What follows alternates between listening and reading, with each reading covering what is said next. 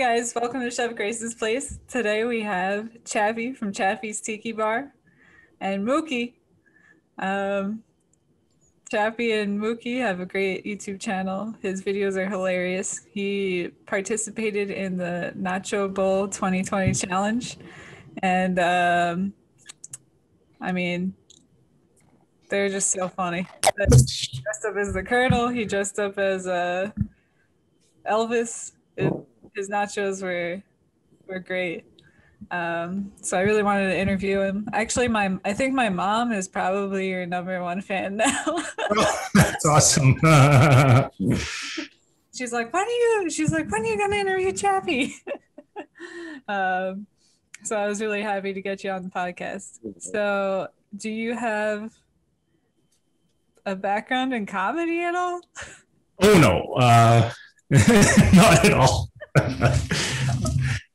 um, yeah, so I, I actually when I, I used to work on the cruise ships, and um, I would send these postcards home with like true stories, and everybody just thought they were hilarious, and they would keep these postcards and uh, and and I think everyone's like was saying, "Oh, you should write a book. Like these are hilarious." And of course, I never never wrote a book, but I I guess a YouTube channel would be the next best thing. yeah, uh, I think uh, people listen to audiobooks now anyway. So yeah, there you go. um, so is that how you came up with the idea for Chappy's Tiki Bar? Um, no, like I, I did, didn't even think of doing a YouTube channel. Um, I had a friend, um, this is a couple years ago. So he, he had uh, quite, quite a good job. He was like a director of accounting for a major uh, grocery chain and he got a package. And part of his package was um, he couldn't work for two years, but he could get and and this is probably all full like disclosure. I shouldn't, shouldn't uh, say anything because he's probably in, in a confidentiality agreement, but um, I won't say his know. name. Yeah. Um, so, anyways, uh, he came and he said, "Hold on, um, your microphone is like, oh, it's, it's like uh, I don't know how to." You know? Yeah, yeah. Or, like, or should I reduce the gain? I don't know. Those are that, that that's coming past my technicality. oh, okay. Uh, reduce the gain. gain. Yeah, like at the end of every word, it kind of gets like staticky. Is that? Oh, okay. You know. Because I know this, I actually upload this to also uh, Spotify and iTunes. So oh, just okay. listen. Oh, that's way better. That's way better. Okay. All right. So. All right. I'll start over again. so, um, what was the question? yeah, uh, how'd you get started with the channel? You're talking about a grocery store guy, and oh yeah. So I had a good friend. Um, he he was a director of accounting for a major grocery chain. Um, he got a package, and so basically he was sort of out of work, but he um, he part of his deal was he couldn't work for two years. And he kind of came to me and he said, Well, do you got any business ideas? And I think he thought because I like to cook, um, we'd open a food truck or he just wanted some kind of uh, advice or ideas as what he could do for the next two years. And I said, Well, why don't we do a YouTube channel? And originally, um, and I had the Tiki bar already. Originally, it was going to be called Tiki Talk with Brad and Chad. Um, but and it would we it be, be basically like he he he's a funny guy. He likes to joke around, and I, I think it would just basically been me and him getting drunk at my tiki bar and making jokes. but uh, I don't think he was that comfortable in front of the camera, so it never really materialized. And then so I decided to do I wanted to do a travel channel, and I released my first video or what my first uh, upload in uh, January, like end of January 2020. And then I did a few episodes where I was in Hawaii. And then, of course, the pandemic hit. And I'm like, well, it's not, not really good to do a travel channel during the pandemic. So I just kind of uh, added a few things. and uh, Mookie seemed to be popular, so I kept her along for the ride. So. Oh, she's so cute, of course. yeah, he's the star. Especially when you do the uh, the special. Do you have a background in uh, the special effects, or you just?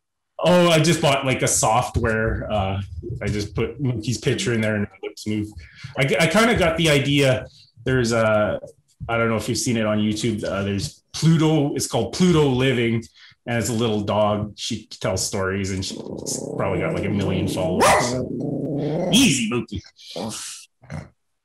Healed, healed. she's a vicious dog. She's a ferocious guide dog. Come on. Um. So you, what did you do on the cruise ships? Um, I started out in the gift shops, and that was just for the, my first contract. Then I worked in the casinos. So I actually went to Las Vegas and trained as a casino dealer. And um, I have a good friend. Well, late, later on, I, I met a friend that worked in Vegas. Um, but I, I was kind of interested in working in Vegas. And um, I went to like an immigration lawyer, and I said, well, like I, I took the training um, and, and it's from that particular school it was like a 90% hiring rate if you knew blackjack 100% if you knew craps. And i, I knew both uh, blackjack and craps and went to immigration lawyer and i said well like can i can i get a job in vegas? And they're like yeah no problem. You just have to find somebody to marry. So uh, that was kind of an issue. So i went back to the cruise ships uh, I did uh, like another 12 contracts uh, in the casinos. So. so you're Canadian, right? Yes, yes. Just gotta, you know, let the viewers know. They're like, immigration, where's this guy from? what's that boot? what's that boot? um, so that's pretty cool. Can you do all the card tricks and stuff?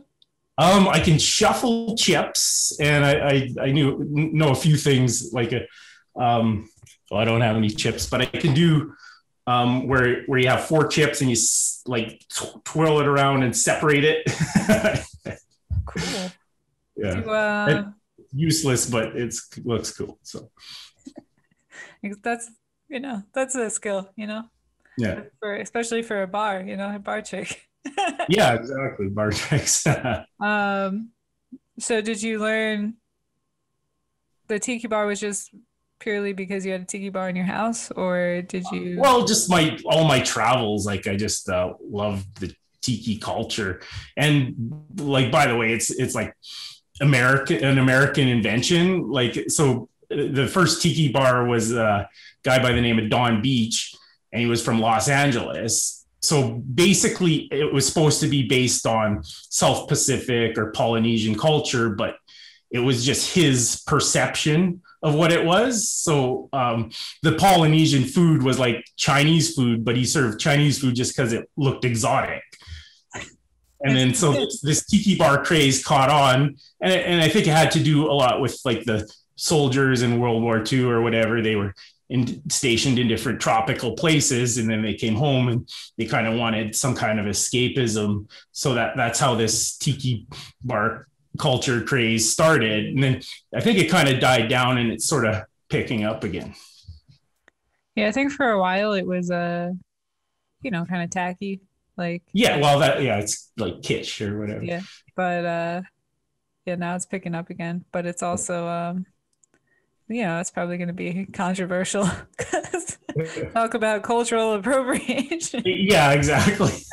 I think as long as you pay a, you know, you pay homage to uh, the cultures that it comes from, then. Oh yeah, yeah. Like I, I love Hawaii. I love Hawaiian food, and I, I try to do a little bit of that. So, what places have you gone to? Well, just working on the cruise ships, I've been to over 100 countries. So I did like a Mediterranean run. I, have done, done, Alaska. I've done pretty much everywhere in the Caribbean. I've been, done Asia, New Zealand, Australia. Uh, I've been all over the world. It, it really is a great way to see the world um, for free.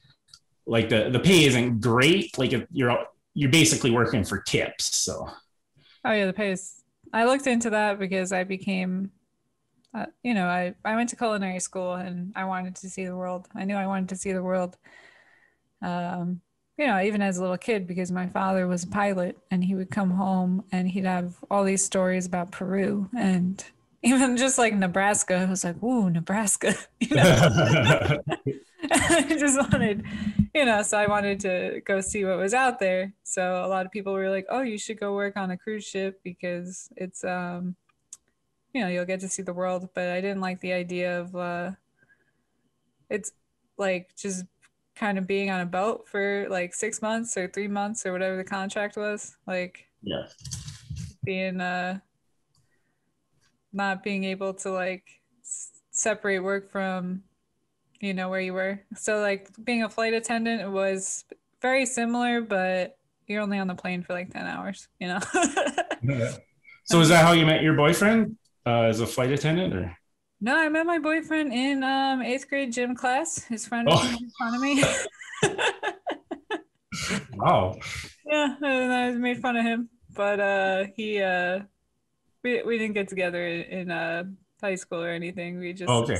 it was always the will they or won't they but uh Uh, you know, when I came back from college, my friend was like, "Oh, you should give him a chance," and I was like, "No." and we've been together ever since. So, and like, and you did uh, some kind of martial arts or something when you were in uh, school or yeah, I was very competitive in uh, jujitsu. I, um, yeah, it was. Uh, my brother and I. They had the.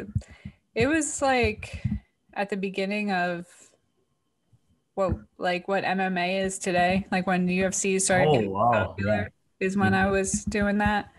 So there weren't many girls. Like I wanted like eighth grade, I was like, I'm gonna be an MMA fighter.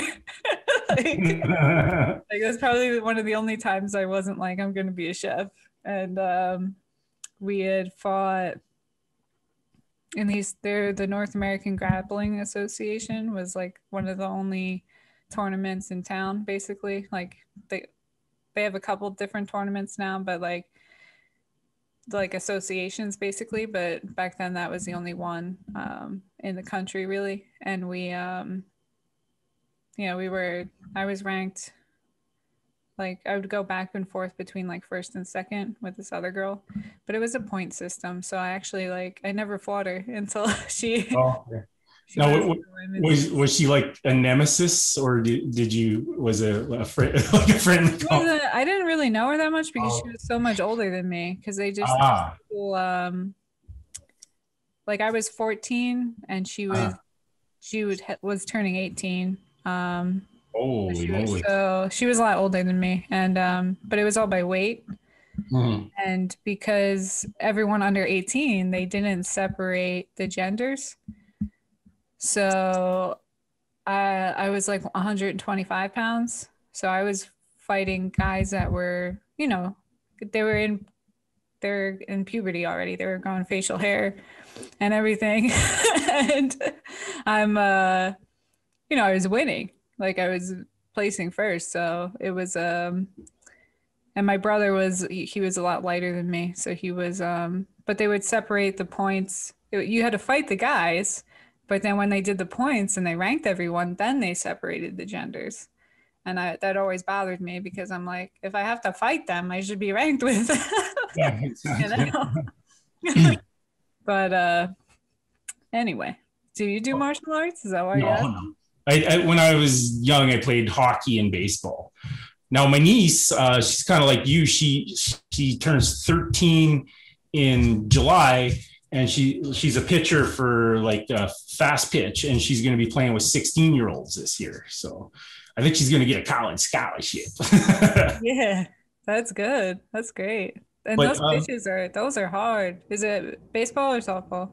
Um, well, it, it's it's underhand fast pitch, and the ball's like that big. So I think it's kind of in between baseball and softball. Okay, all right. Yeah, I, I remember. It's it's the one where you see all the college the colleges play on ESPN or whatever. So Wow, that's that's really cool. yeah. Um, now you said uh, so you just have the one brother or Yeah, we're uh we're twins. Oh, okay. He seems like an interesting guy. You said he's from Nevada, or he lives no, in I mean, Nevada. we're both we're all from New Jersey, but he uh, Right.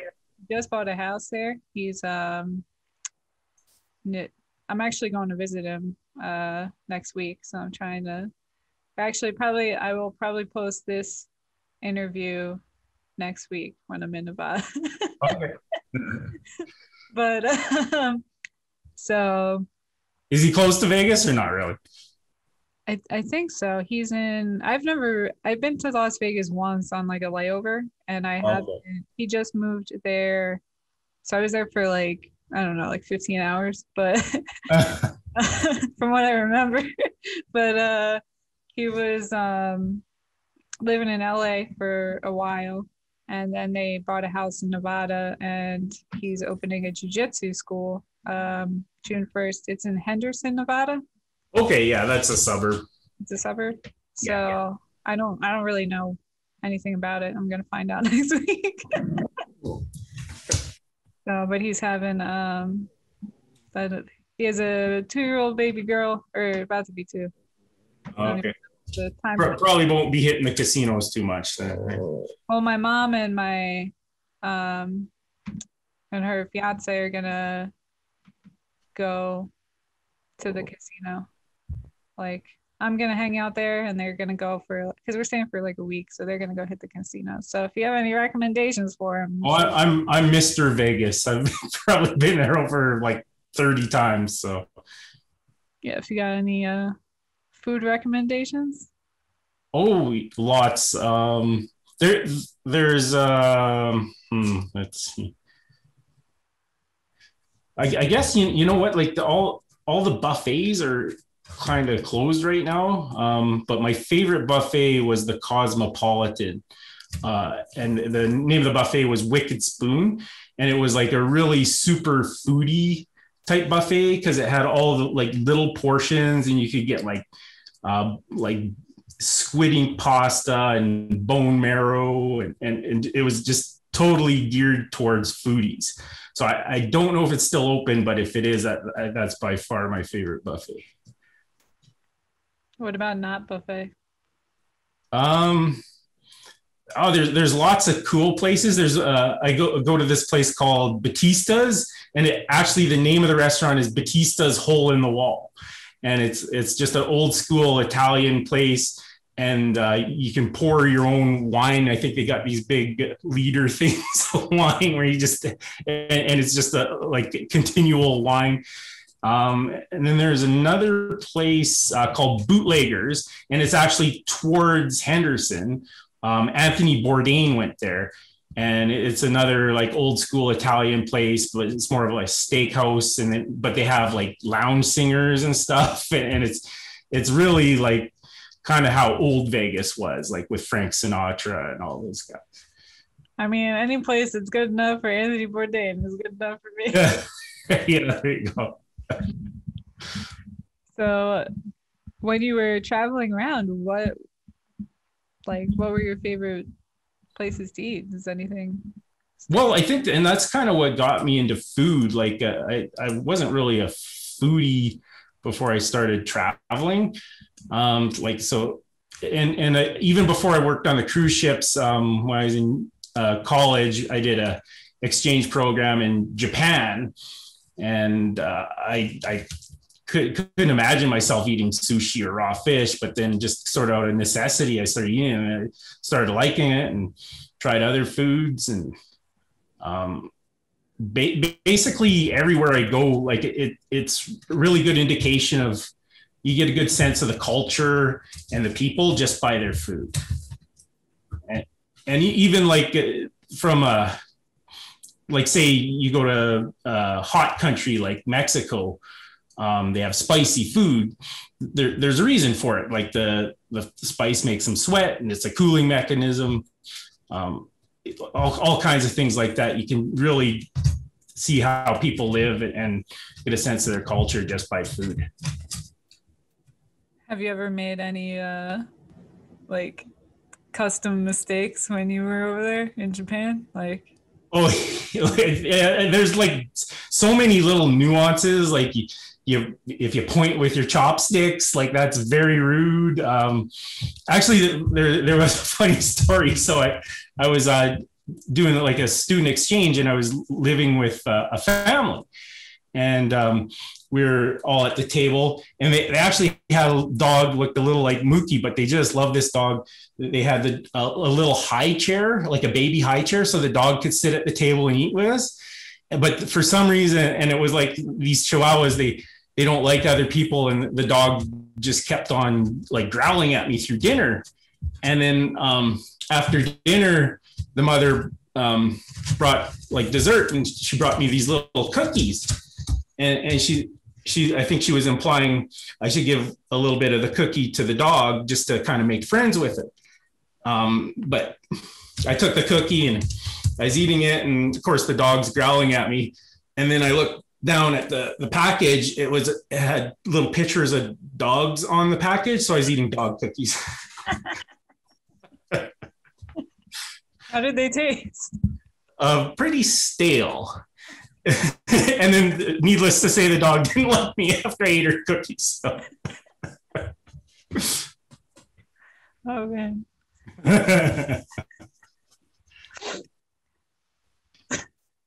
so um, that's so funny. I, I remember when I was a kid, we had a little toy poodle, and I remember I I they, we used to give him milk bones. It was a dog biscuit brand here. yeah, yeah. And I remember tasting one once. I'm like, this is disgusting. I don't know why you like this. but you know, you gotta, because they always uh, like branding dog food as like delicious for your dog. And it's like they're lying. Oh yeah, yeah.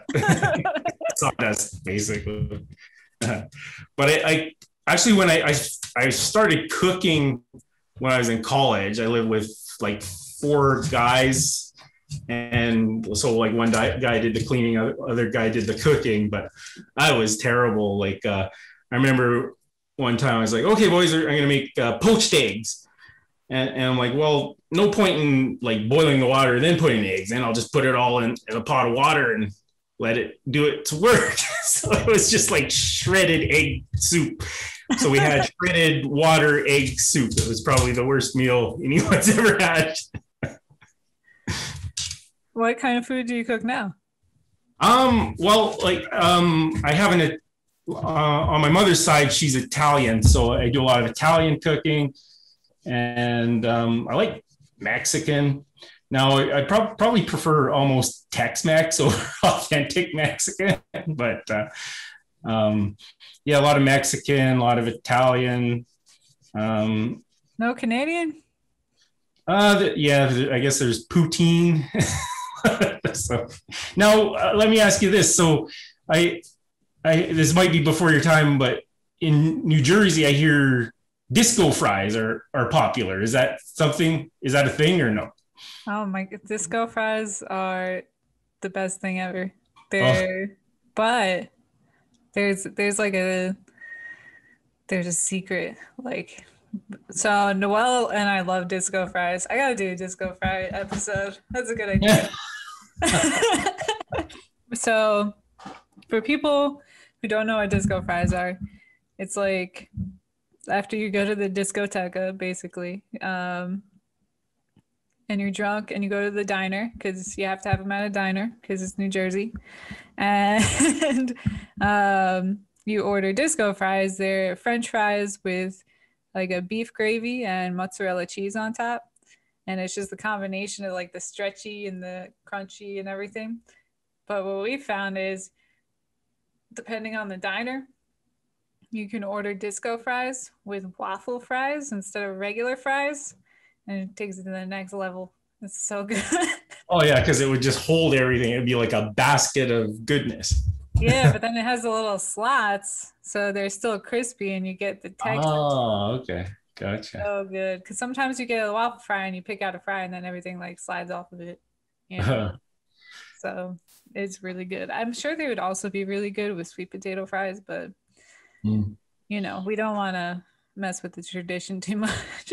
and the, the other thing I read, um, the reason why New Jersey pizza is so good is uh, when the Italian immigrants came over, um, they were used to these super sweet uh, tomatoes like uh, San Marzano tomatoes are grown at the foot of Mount Vesuvius and they have extra rich soil. So they have these super sweet tomatoes in Italy. So when the immigrants came over to New Jersey, the, the tomatoes weren't that sweet. So they added sugar to their sauce. And that's why New Jersey pizza sauce is a little sweeter. Do, do you find that or? No. Um, I find that in South Jersey compared to North Jersey because there's Okay, it's a whole regional thing. yeah, it's super regional, but um, they use they'll use like it's not they're not they don't add sugar. Like some people do add sugar to their tomato sauce, but that's not. Um, it's that's I think that's more of a. Uh,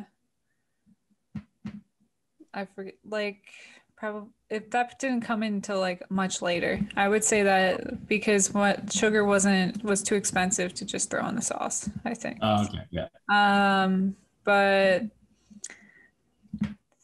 it, they have different varieties of tomato because New Jersey is w- one of the best places to grow tomatoes.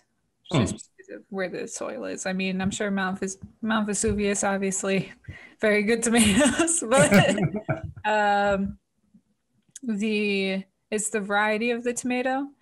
Um, in South Jersey, they use a lot of plum tomatoes, which are way sweeter than like a beefsteak or, you know, um, the one that I'm forgetting the name of right now. but Well, yeah, the Roma tomatoes or yeah, yeah, yeah. So they're, you know, they're a lot sweeter. So in South Jersey, you see that in their tomato sauce, and the sauce is super sweet. But in uh, the northern parts, they don't use plum tomatoes, so it's not sweet. Huh. But that's why the north has better there you go. because it's sweet. you don't really want it to be too sweet because you need the acid to cut through the Yeah. the cheese. You know. So. But But there, there was something uh, that came out. The number one pizza place was, or the number one state for pizza was New Jersey, and New York was actually number three. Connecticut was number two. I believe it because a lot of people, um, like where I'm from, not not during my time, but I guess my parents' time, or even you know their parents, they settled in Newark, New Jersey. Um, so there's a, a huge Italian American community there, but it's also such a it's such a melting pot. Like there's the Italians, they don't like they kind of moved out of Newark. They moved out of Newark now. There's not many left. Um, and they're in, you know, other parts of New Jersey, uh, especially the town I come from, Nutley. Um, had it has so many pizzerias that we had a, a pizza like war contest every year where you would go in and you pay five dollars and you t- taste all the pizzas in town. So I think one of the reasons why it's just so good is there's so much competition and it's not um where like New York is probably third because they kind of have this commercialized idea of what like Little Italy is supposed to be like. You know what I mean? yeah. So they're kind of whereas if you're going to New Jersey to get pizza, they're just trying to make the best pizza. So it's a it's a little different. And there's all different kinds. You got the thin crust. Some people like it a little thicker. Like I call it the Ninja Turtle style pizza. like in the comic book where it's just stretchy cheese everywhere. Um but there's like it's just such good pizza. I can't wait. My friend uh Logan just became a uh, spirit flight attendant and he um he just got a layover in Newark and I'm like, oh my god, I gotta go over. I gotta go up there with you and take you to all the pizza places, all the diners. yeah. Oh. The disco fries. I want some disco fries now. So I don't even what is poutine? Um, so it's fries with, uh, I, I guess, a brown gravy and cheese curd. And it, it's actually huge in Montreal and Quebec and the, the French provinces.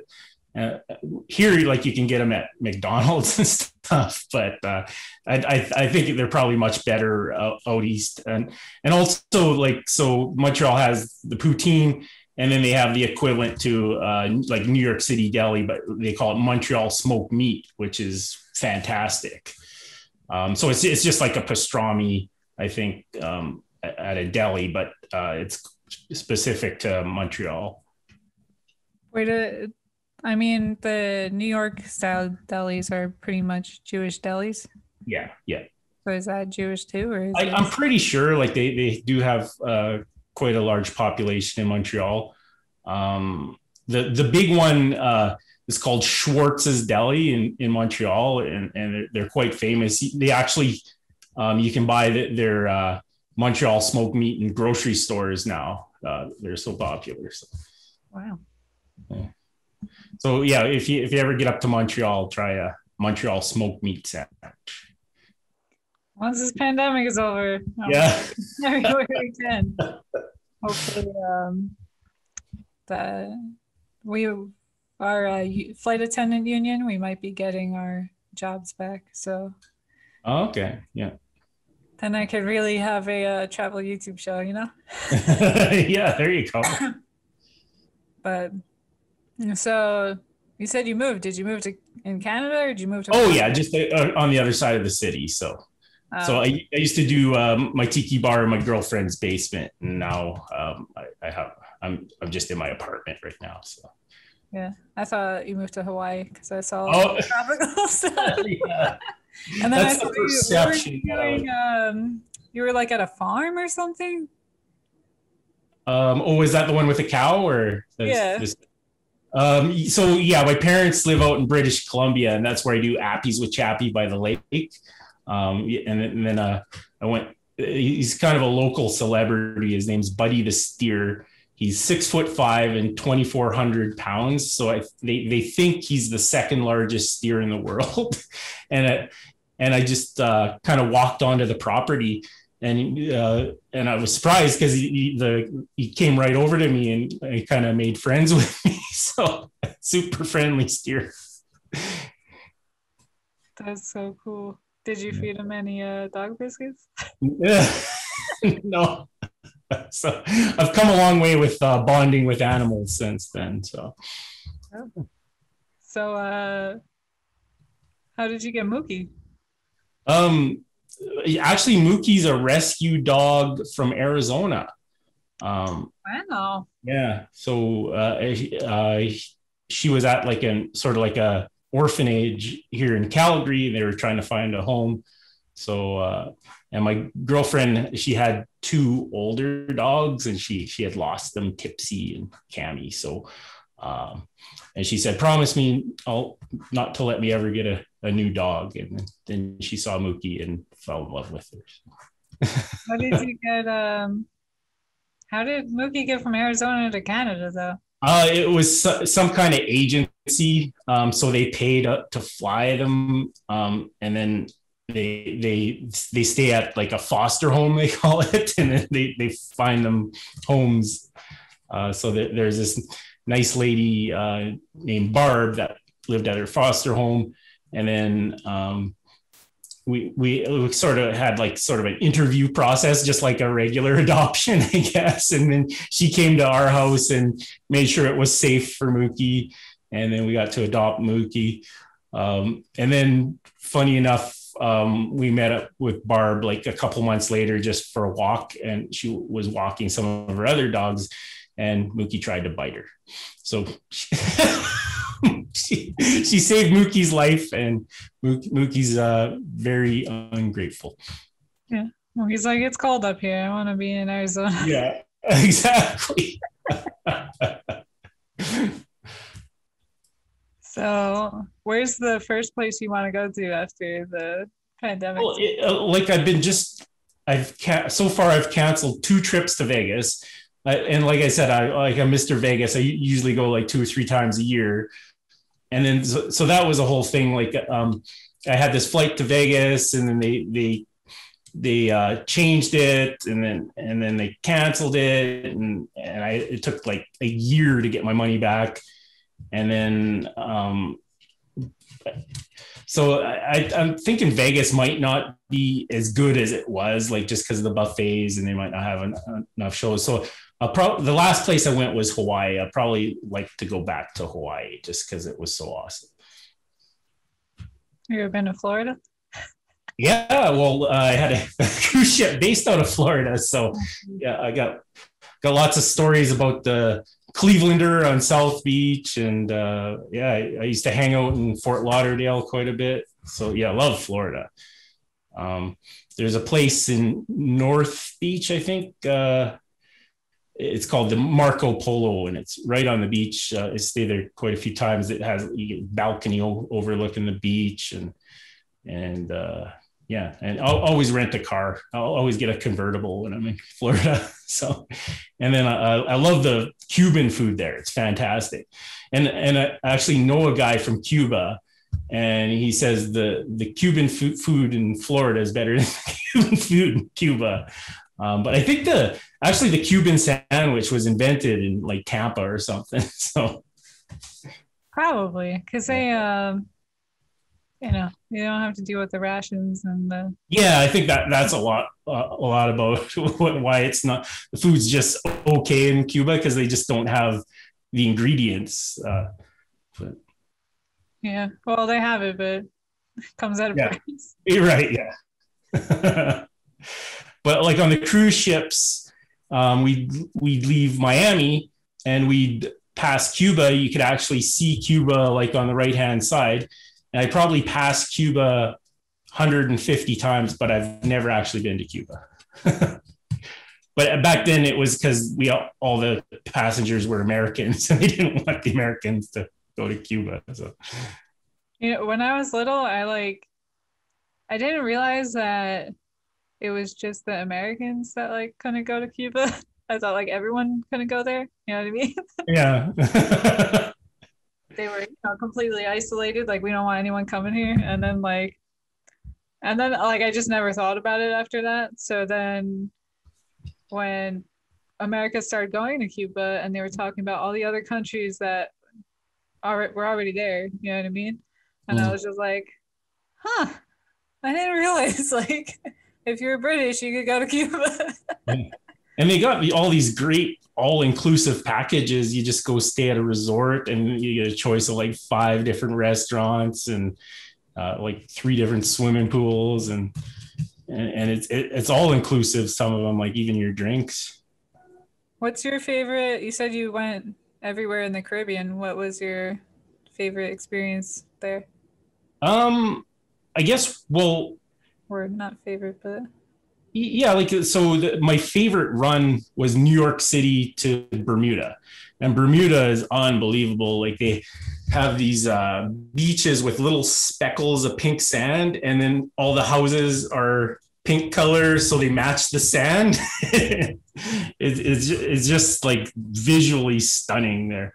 And it's it's a british colony so like a lot of they got a lot of cool pubs and and british food and and and I guess my my other favorite place in the Caribbean would be Aruba. Um, mostly just because it like well again beautiful beaches and then they had a lot of casinos there so like, lots of stuff to do uh, but i should probably tell you i am obsessed with new york city just from that so that run um, every saturday we were um, in new york so I, and i did it for six months so I, I had 26 saturdays in new york so I'd always get off the ship early and make a point of like just seeing everything. So like Empire State Building, Statue of Liberty, did all the tourist stuff, um, and j- just fell in love with New York. Like I grew up in rural Alberta, so just it's just like to me it was like being in a movie with all the taxi cabs and like Times Square. It, like I just. I, and so if you look here, like it's all Hawaii and tiki stuff, but my uh, living room is decorated with a New York theme. So I have pictures of myself in New York. I have paintings in New York. Um, yeah, I just I just love New York. You have the shirt that says "I love New York." I do. Yeah. the um, that's so funny. I remember because growing up in New Jersey, I grew up, you know, like that was that was the city, Then when you're going to the city, they're like, that's the city you were going to. And I just didn't. I mean, I lived in Philadelphia for a while, and that's an amazing city too. But um, and it's a big it's a big city, so I, I didn't realize. I remember going to uh, like Denver before it when it was like before the marijuana boom really happened, like just at the start of it, and I was just like, "This is a city." You know, I'd never been to a city that was spread out before. That's what it uh, was. And it was just so strange to me that like this isn't a city. Where are the skyscrapers, you know? Yeah. But uh it's yeah, it's just so overwhelming. And when you like when you go into this, it's just like like I just going into the tunnel and you come out of the tunnel and it's like New York City. It's crazy. It's, like I didn't realize how uh not everybody had that experience. You know what I mean? Yeah. Yeah. Because you're just used to it because it, it was normal to you. But New York, it like, and you're gonna go back to New York, and it's gonna be, it's the, still New York, but it's gonna be so different. You know. Mm. Every time, every time you go, yeah, something new.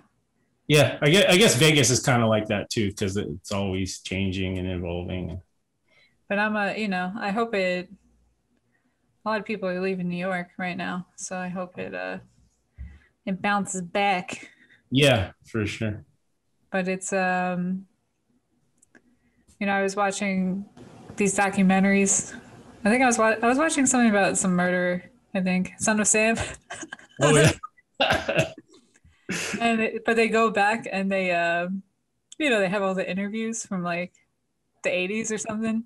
And I was like, the accents are so much stronger back then than they mm. are now. It's insane.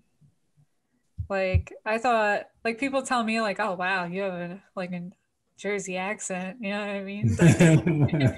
Like, like coffee, like ooh, but um, the accents were insane. I was like, "Oh my god, people like people talk like that," and it's like you really do you hear yourself? It's so funny, but I think it's because they didn't have the internet.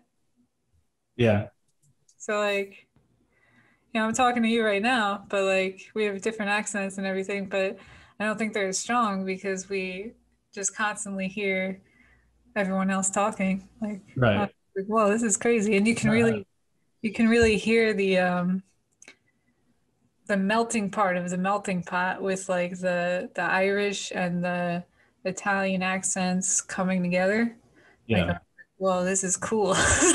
do you speak any other languages? No, not at all. I took French in school because we had to, but yeah, it didn't really stick. and I tried to learn Italian for a little bit, but um, yeah. But what about Japanese? You stayed there, no? Yeah, I took a I took a language class when, when I was going to school there. So like I I, I could pro- form sentences and stuff. So, but yeah, um, not. I, I think if I will learn a language, it'll be Italian eventually. But and I should, probably should have did it during the pandemic because I had so much time. But uh, def, definitely want to learn Italian. Is that because your family's Italian or? Um, yeah. And, and I did, and that was an, another place I just loved going to on the cruise ships. Like we did the Mediterranean run and uh, we'd go to Naples and Venice and uh, a place called Civitavecchia, which is just outside of Rome. So you could take the train into Rome and a smaller town called Livorno. Um, that that was one of my favorite favorite meals in Italy. Uh, there's just this little tiny place in Livorno called the Pink Panther, and they had these handmade gnocchis uh, in sort of like a sausage sauce. It just, and it's just like a family restaurant. It was probably one of the best meals I ever had in my life. What part of Italy is your family from? Um, I I can't remember the exact town, but it, it is northern Italy and actually that that's kind of a funny story um, and it's kind of so basically my family was in the bar business uh, for probably like 60 years. So that's sort of my drink making background. Like I'm not, I'm obviously a home bartender. I'm not a professional bartender, but my, my family was in the bar industry for 60 years. So my great grandfather came over from Italy in 1928. He worked in the coal mines for a year. And then he um, started running whiskey across the Montana border. And the next year, he bought three hotels. So you do the math. and then I, I, ended up working at one of those hotels when I uh, probably aged 15 to like uh, 24. Um, so I like I worked in the bar a little bit. wasn't so much a bartender, but I worked in a liquor store, worked at front desk. And, um, so that's kind of my background in drink making. Is uh, my grandfather bought a bar in a hotel in 1928. That's pretty cool. my uh yeah, my father's father, they're from Italy. So they're from northern Italy. And they um but they used to do like shenanigans like that. Like the Italians are always doing some kind of shenanigans. Yeah. so they I think they had a like a little speakeasy thing going on in yeah. The, in the I guess so. My my great grandmother would do all like the cooking and stuff, and then I remember there was a story about um, selling like boat rides up the Hudson River. like, for tourists, they're always doing something ridiculous. Um, that's really cool. So they would he would run the whiskey over. So yeah, so I, uh, uh, where I grew up is is like an hour away from the Montana border. Um, so, so prohibition. Yeah, it was during Prohibition. Okay. So, and he, I guess he was working for the Italian mafia. He's so making lots of money. literal, literal bootlegger. That's cool. Yeah, yeah. Uh, rum, rum, rum runner. Only it was whiskey. So. What's your favorite uh, spirit? Um, probably just uh, like a good Canadian whiskey, like uh, oh, Crown Royal. So th- this is uh made in Canada. I think they they made it in honor of the Queen. So, uh, and and where I'm from, Alberta, like that's like when you're a teenager early 20s, that that's just what everybody in Alberta drinks is uh, rye whiskey. Um, I used to drink it with rye and Coke. A lot of people drink uh, rye and ginger or a rye Coke press with a little bit of water and uh, yeah, the bar, the bar I worked at, like the, everyone drank the the rye and Cokes, or, and this is cool. We had because it, it opened during the Prohibition. We had these beer glasses, and it had a, a line on it, and it, it said ALCB, so Alberta Liquor Commission or whatever. So by law, you had to fill the beer up to the line um, but this is from like the 30s or 40s, but they still had the glasses. That's cool. Yeah. So, so it, this bar was like super old, and and then there was a partition. Um, you, you could just see the like basically where the partition was because I, I don't know the 40s or 50s the men weren't allowed to drink with the women so they had a whole section where the women had to go, and and then the other the whole other bar was just for the men only. what? Yeah. You got they separated the men and the women. Yeah, I, I don't know if it was just uh be, I, yeah I, I don't know the reasoning. That's the whole point of going to the bar. Yeah, yeah. This was like in the olden days though, so they, they just still had the partition there. To... Was that a uh did they do that? I don't think they did that in America.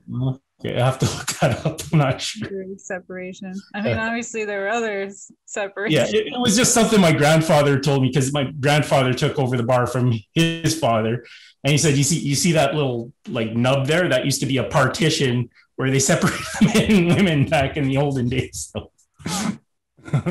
the um, I always thought it was interesting when uh, I learned about like a lady pint versus a like regular pint, I guess. Yeah. The smaller glass. I didn't even know that was a thing. But of, of course it is. Last year for us, twice the price. Yeah. Surprised it wasn't pink. but uh that's crazy. Oh, Mookie's sleeping. We're boring you. Mookie? She's bored.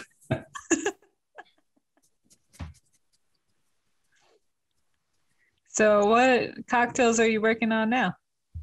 Um, I, I'm gonna start to experiment with those old timey cocktails with uh, like egg whites, but I haven't, um, haven't quite been brave enough to to do that yet. But um, and then I'm gonna do. I'm heading out to the out to BC quite soon, so I'll do some appies with Chappy by the lake. So I usually when I'm out there, I just like whatever I have, I try to I, I keep I keep a bartender's guide, so it's really easy to find drinks. Like I I just basically figure out what I have, and then I look at the bartender's guide and figure out what I can make. Because like we're when I'm out at the lake, it's it's we're it's like 20 minutes into town, so if you want to go get a lemon, it's like a 40 minutes both ways. So. That's uh pretty cool though. The lake. The lake that lake is beautiful. Oh yeah, yeah. It uh, it reminds me of Norway a lot, actually. Ah. Is he in Norway? the, the pine trees. I was like, oh, must be on the cruise ship again. No, it's a, a big thing right now. So I'm in Alberta. Uh, the lake's in British Columbia. So we're because of the pandemic, like we're fully locked down. Um, but we have different laws in Alberta than British Columbia or different rules. And in British Columbia right now, like they don't want you to leave your health zone, and you can get like a five hundred dollar ticket if you're like say you you, you want to go camping a hundred miles away. so and but they're, not really enforcing it, but it just seems like the people in BC are nuts right now. They hate people from Alberta, and I've ha- had friends they went to BC and they'll get their car keyed. They'll get nasty notes, uh, like on the on the news. There, there's like people that they'll have Alberta license plates and they'll get attacked in a parking lot just because they're from Alberta. So it, it's uh, but the it's it's mostly the politicians and the media from British Columbia. Like you, you I watched the Vancouver news in, in BC and and a lot of it's just how bad people from Alberta are about like not social distancing or not wearing masks and stuff. And and it's just a small percentage of Alberta. Like they recently had this illegal rodeo in some small farm town. But it, on the news it was like well people from Alberta are throwing illegal rodeos everywhere. Like I live in Calgary. There's a million people here. Like the we're not like on some farm so, so it's always the rednecks right? exactly yeah yeah 100% but the uh yeah they, they couldn't they would just go insane if they were in florida. It's uh it's the wild west over here. They oh yeah i bet. No rules. Like there was like a pandemic for like a week in florida and then they're like yeah, do whatever you want. So most people wear masks though i gotta say. Most people yeah. they're they're good. But um we get a couple people that are like I don't believe in masks. And I'm like, eh, it doesn't it doesn't really matter. believe just yeah. But in, and then in Calgary just yesterday, so uh, the fine for willfully not wearing a mask was hundred dollars. They increased it to I think five hundred. So, but like they said, like if you just forget to put your mask on, they're not going to fine you. It's just if you're, I think if you're outside protesting not wearing a mask, they're going to give you a five hundred dollar fine. That's yeah, that's tricky with the but I mean I've gone out before and been like, oh shit, I forgot my mask. But yeah, you know, it's not a I just stayed in the car, made my boyfriend go get everything from the store. but uh it's just not um you know, there's so many other things to focus on, and I feel like the politicians are just trying to divide everybody with that. It's like stupid things like that, like rodeo and whatever. Like instead of figuring out how can we make a safe gathering, they're just like no gatherings, and I don't think that's right. Yeah, the way to do it. you know. Yeah. and and then like they're the politicians are making decisions that health of experts should be making i think so Yeah. And then, you know, in America too, a lot of it is like, well, the health experts, their money comes from the government and the politicians are running the government. yeah so they kind of have to, you know, well it's pretty controversial here because um, they, they just came out with those mask rules so the politicians um, that made those rules in in December there was a huge controversy because they all went on this holiday to Mexico, just like Ted Cruz or whatever, and and uh, so, some of them got fired and some of them got in trouble. But like they, they there was this order not to travel, a no travel ban, and, and all these politicians went on holidays to these Caribbean countries and Mexico. So yeah, that's that's ridiculous. yeah, And they, you know, and once the there's a lot of people getting vaccinated now, and it's just like if you, they still want everyone wearing masks, but I like I understand that because then you have, you can't just, unfortunately, you can't be like, oh, I trust that you said you got a vaccine, that you actually got one. You know what I mean? Because Yeah. there's people that'll just say they got a vaccine when they didn't get a vaccine, and then right, yeah. you know but people people are starting to get upset about that like i got my vaccine i don't want to wear my mask anymore and i'm like No, I, I just got my first AstraZeneca shot. Um, I think that's the one Biden didn't want, so he sent a bunch to Canada. uh, and it, it it kicked my ass the first night. Like I, I was fine, and then like I, I kind of got chills, and my stomach was woozy. But I, I guess in a way, I, like I, I was glad because I, I knew it was working. I didn't get like a, a placebo shot or something. So, um, and then supposedly they're going to run out of that one. So, and I'm, I need a second shot for that one, but um, we'll see how that goes. They might change it where you can just mix and match your, your vaccine. So, but uh, yeah, so I, I'm happy I got the shot. And both my parents got their first shot. My dad has some health issues, so we're we're glad he got his first shot. So i'm getting the uh the johnson and johnson tomorrow actually okay, and that's a one and done, or yeah it's a one and done um there's some stuff in the media about there there were some uh, issues with like blood clots and stuff but yeah, that was the AstraZeneca as well. So Yeah, but I just think um you know, reading it, unfortunately the the eight women that I got I kind of like matched that description, but at the same time it was eight out of you Yeah. know, m- um, millions or something like right. so um or you know, super high number, but it's uh it's just not going to be it's very hard for my boyfriend to like take off of work and stuff, so it just would make more sense to be one and done, I think. Yeah. And the you know, uh, the the risk was it was less risk than like being on birth control. So I was just like yeah. Well, be said you can get blood blood clots from uh, COVID as well. So Yeah, that's true. And uh, you know, my, my boyfriend tested positive before, and um, you know, when I came back from the, I came back from Thailand in March, and that's when people were finally paying attention in the United States. right, yeah, And I was I was sick, and um, I was trying to get tested, and I couldn't get tested anywhere. I went.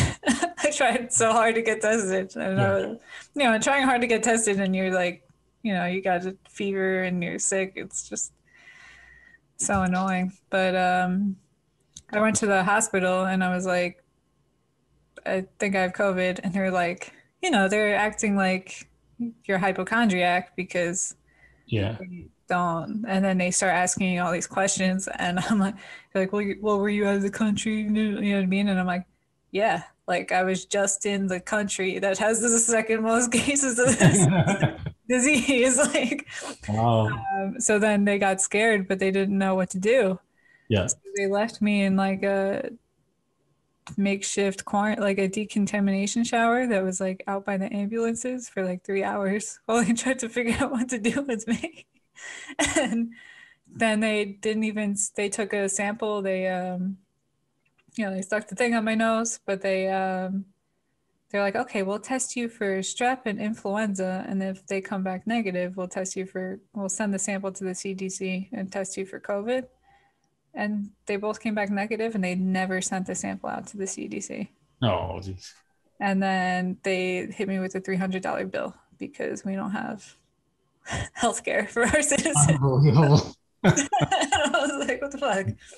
So that was terrible. But uh, so I, I probably did have it because then when Noel got it, I, I didn't really get sick again. And I was, you know, I live with him in a tiny apartment. Like, Yeah. I'm going to catch it. Mm, That's what I'm going to catch so Oh, this will be like a booster shot, I feel like, you know? Yeah. so this should be fine. Oh, Mookie. Is there like a window right there? Is he enjoying or is she enjoying? yeah. Every once in a while, like a cat will go by and she'll start barking. So, How old is she? uh, I think she just turned seven. Seven. Yeah. So, So she's an old lady now. Yeah. Dog years. uh, my my um, girlfriend's other dog, she would have been 20 years old yesterday. Wow. He li- lived to I think about 18. So, Wow. Yeah. We had uh our dog lived to be 15. The smaller dogs live a lot longer. I think so. Yeah. Yeah. Is it something about the the hearts don't have to work as much because they're smaller? Okay. You don't have to pump, pump the blood as much. This Oh. one's pretty lazy. She doesn't do a lot of heart pumping. so. something like that. So all all your um everything on the wall behind you is that all from your travels? Um, yeah, yeah. So yeah, that's Hawaii. I think that's I was in Aruba, uh, Hawaii, um, Aruba, Hawaii. This is actually well, this is a good. Um, you can't really see it, but it's a, a mermaid tank. So there's this tiki bar in Great Falls, Montana, and they have a mermaid tank with live girls dressed up as mermaids swimming in the background. So it, it, it's pretty famous. It's called the Sip and Dip. Um, I think a long time ago, Maxim magazine ranked it as the top bar to travel to. So, um, but uh, there, there's a, a, a sad uh, part of this story. So, um, it's just this fantastic tiki bar has a mermaid tank, and um, there's a woman there. Her name's Piano Pat, and she's been playing an organ there since 1963. Uh, Piano Pat just passed away last week at 84 years old, but she was still playing in in that bar as of like recently. Wow. And uh, I think she ha- she had a fall in August.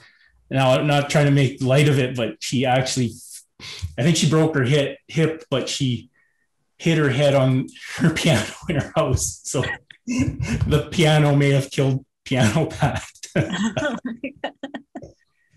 That's but yeah, one of my favorite bars all time, and actually, the, and I do have a funny story with that. Um, so, uh, Great Falls, Montana, is just across the border from where where I grew up. Um, we growing up, like we'd go down there for like uh, school shopping and stuff because everything was way different and cool and cheap, and uh, so my brother when my brother's getting married uh, we had we decided to have our his bachelor party in great falls montana and uh, did a lot of golfing and drinking.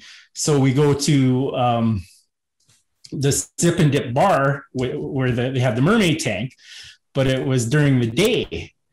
And um, we go to the bartender um, is there any chance like this it's this guy's bachelor party. Is there any chance he can get in the mermaid tank? So the bartender's yeah why not? And, uh, apparently so it, it's a hotel and they have a swimming pool on the on the second floor and then the first floor is the bar and the, the, the swimming pool goes down behind the bar and then they just have a, a glass thing. So my brother we're, we're having our drinks in the tiki bar and we look up and my brother's swimming around in the mermaid tank and he presses his chest against the glass. Did they put a tail on him? They did not no but maybe next time Maybe next time. Awesome. Wonder what the the pool is like. They have like the uh you know, like the secret the secret club where they yeah it's probably full of uh, mer- mermaid disease i don't know where those mermaids have been that sounds like a fun bachelor party. Oh yeah. and then um I think uh yeah, I probably shouldn't divulge too much, but I think a hotel room got destroyed that. So but uh, I had nothing to do with that. so. Uh-huh. Sure you didn't. So but I always get off topic. So I was gonna ask you a question about the lake, but I can't remember what it was. So uh, do people go swimming in that lake? um yeah, it's pretty like it's Canada, so it's pretty cold most of the year, like maybe like two months where it's warm enough to swim. But yeah, it, it is a good lake for swimming. I actually own a kayak. Um, and Mookie's got a little life jacket. She she likes actually likes kayaking. Like she hates everything else. She hates being in the water. Um, but though, like I was taking her kayaking, and then one time I put her life jacket on, and she walked out of the house, walked onto the beach, and jumped in the kayak. She was ready to go. So That's awesome. yeah, but I don't like doing the like the whitewater rafting or anything. It's just like a calm lake, and I go kayaking. It's it's almost like very therapeutic. Like you're just on this beautiful lake, and you're paddling away, and Do you can- bring your tiki drink with you? Uh, should yeah. But yeah, there's nothing better than having like a drink by the water. I just that's my jam. I, I love that. Yeah, it's really nice. I like uh you know, we go to the beach all the time. I got this thing, it's a I guess it's a growler. It actually broke. I gotta get a new one. But it had um yeah, it had like the cups on top as the lid. And it had like four cups and it was it was like a gallon. So you could, you know, make a big batch of drinks and take it to the beach. And it's just so nice to have a to be able to go to the beach because when I was growing up, like you can only go, go to the beach in the summer. Now you go all year round in Florida. um, but it was interesting when I first came down here because in New Jersey you have to pay to go on the beach. You have to have a beach pass and you have to pay like five dollars a day or something like that just to go on the beach. So I would go on the beach in Florida and I thought I was like doing something illegal because there's there's like no one around. You're like, come on, let's go on the beach. And um, you know, you have like the sand dunes and everything. So Yeah. the walkway to the beach. So in New Jersey, there's always like a little kiosk where you have to pay. And then Hmm. the cops will come around on the beach and check and make sure everyone's got a beach badge. So, and you get like a big fine or whatever if you don't have it. So I was just like, you know, like looking for the cops and like, you know, the cops, they patrol the beach in Florida, but it, it's not for that. But every time they would come, I'd be like hiding. I actually, have a funny story. Um, it- it's a Florida story. So, uh, same type of thing. It was like uh, you had to pay for the beach, but um, and th- this is like um, I think it's uh, sort of between Fort Lauderdale and Miami. So, like the parking on the beach is like total ripoff. It, it's like it's like a scam, and so my my girlfriend we we were staying at the actually at the Marco Polo right on the beach, and she wanted to go go for lunch, and the place for lunch was just like a couple blocks walk down the beach, but um, she she didn't want to walk, so we drove, and uh, so right across, so there's beautiful restaurant. There, there's a, a pier going out on the water right right on the beach, and the, the restaurant was actually on the end of the pier.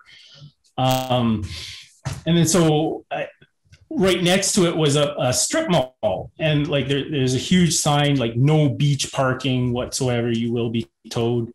But I had parked there before, and I said, okay, well, here's the deal. Let's just uh, go in the store, pretend we're shopping in the strip mall, and then we'll go for lunch.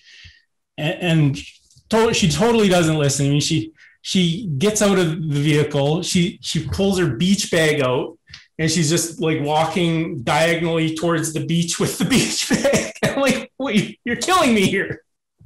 So we we we go for lunch, and then um, and then oh, so to get to this place, like yeah, I think you had to pay to go on the beach. I'm like, here, here's what we're gonna do. We're just gonna cut through this hotel. We'll, we'll pretend we're staying at the hotel. So to get to the beach, we had to walk through the hotel. We had to walk through the pool area. And as we're walking through the pool area, my, my girlfriend starts pointing. She says, This says guests only. And I'm like, Put your finger down, just act like we belong here. So, so we go, we go, we have a, a lovely lunch. And then on the way back, like she's making fun of me, like, Ooh, people are watching us. We get back, sure enough, my car's towed but it was a total scam. Like they had a, like I, I I think my car was towed within five minutes from when we left because it was at this impound place that was like 45 minutes away and they had already had my my vehicle there for quite some time so i think they just had somebody watching this parking lot and it was they're just waiting for tourists to park there so they could charge them like $200 to get the car back and then, so I, ironically, I had to take an Uber to this place 45 minutes away. And while my girlfriend was waiting, she went to the store that we were supposed to pretend we were going into, and she had a nice shopping time there. So.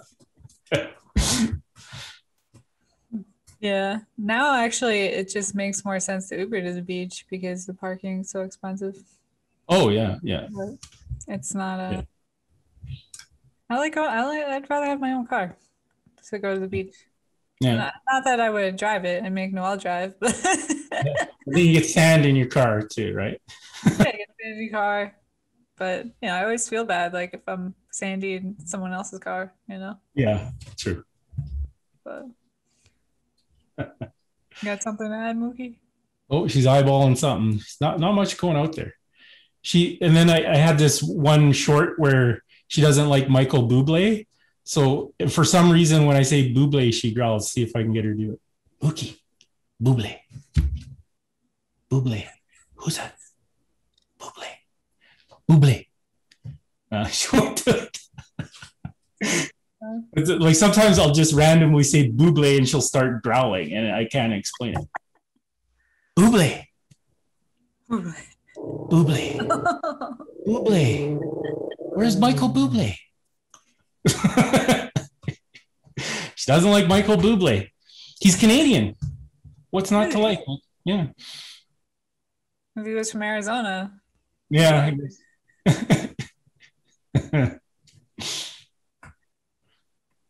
so Michael Bublé. I, I am working on uh, this hilarious. I think I'll do it as a short, um, but I, am going to dress up as a Hamburglar, and Mookie's in charge of uh, protecting my Big Mac. And I think I can provoke her enough to bite me, but we'll, we'll see. oh my god! Are you gonna? So you gonna make the Big Mac, or is it just? Oh no! I'll just I'll just, just do funny sketches. How did you come up with the idea for the uh, the nacho videos you did? Um, well, I, I had originally did a KFC pie, so I already had like the Colonel costume and stuff. So I, I made this awesome uh, pie where I just put the KFC gravy and chicken into into a pie. it turned out fantastic. And then the oh the Elvis one, I, I had the Elvis costume because I made an Elvis shooter. But I actually on that one I infused vodka with bacon and it was disgusting. I still drank. It had like little fat droplets. It, it, tasted good, like, but it just it was gray, and the bacon inside turned gray, and there was and so it was coated with these fat droplets on top of the vodka. But um, there there is a place in Vegas called the Double Down, and Anthony Bourdain's been there as well, where they they actually do that, and it looks exactly like that. They have this gray vodka behind the, the bar, and they do like bacon martinis and stuff. Sometimes, you know, they say you can put bacon on anything, but that doesn't sound very appetizing. Gray. Yeah. But uh, I didn't get sick. I was kind of, well, am I going to get sick from this? that's a weird texture, like the alcohol and the fat.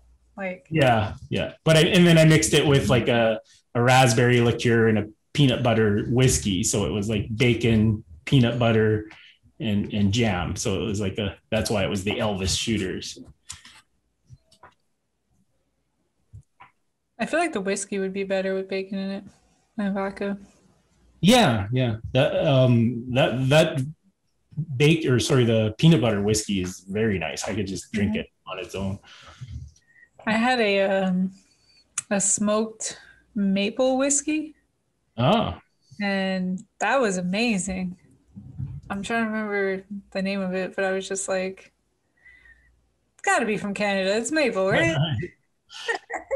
I I overdid it on uh, honey Jack Daniels in Vegas once, but we were just doing shots and oh, it just kicked my ass. Yeah, that's my uh my boyfriend's favorite honey jack.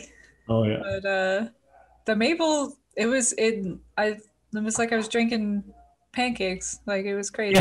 yeah. that's awesome. Like, Whoa, this is cool. I gotta look it up. I'll send it to you. Okay. But uh it was so cool. And then we were I was trying to talk like whenever me and Noel go out, we talk to the bartenders and stuff, you know. But he was just he wasn't having it. Because we were just thinking about like all the different drinks we could make with this maple whiskey. And he was just like, I just work here. I don't like being a bartender. yeah. you know? so funny. I'm like, all right.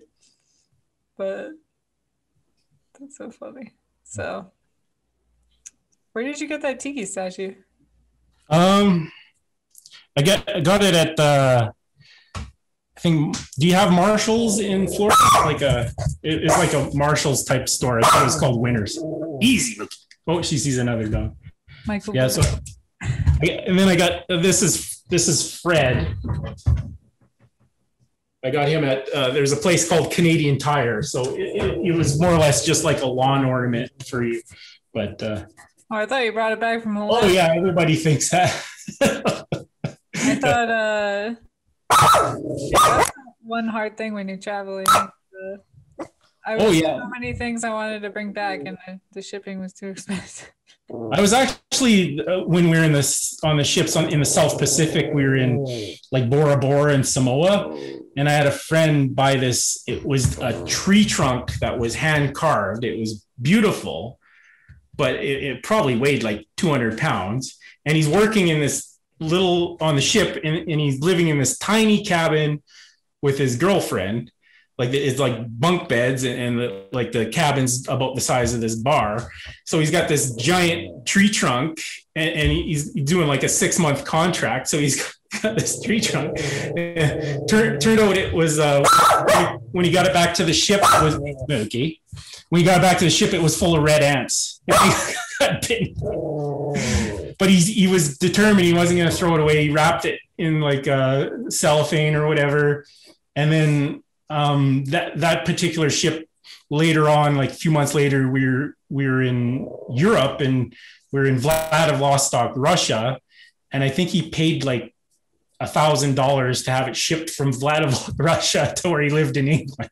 But and but it was just a hand carved thing. Like you could probably buy it somewhere, but he got it like in Bora Bora, so he wa- wasn't going to part with it.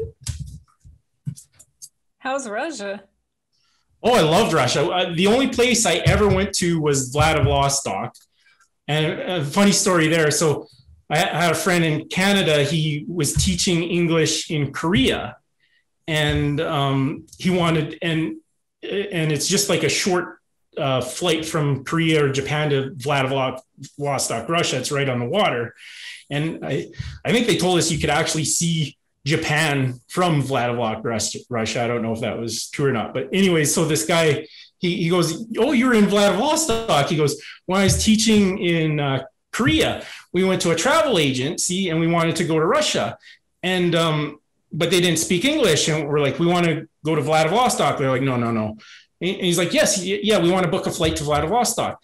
And then so the, the guy gets out this uh, English Korean dictionary he reads it and he goes, "Do not go to Vladivostok, Russia. You will surely die." so it's, a, it's, a, big port town, and there's a like a huge mafia presence. And and and I told him, I, I go, "Well, come to think of it, like I was just walking down down the street, like there's all these poor people."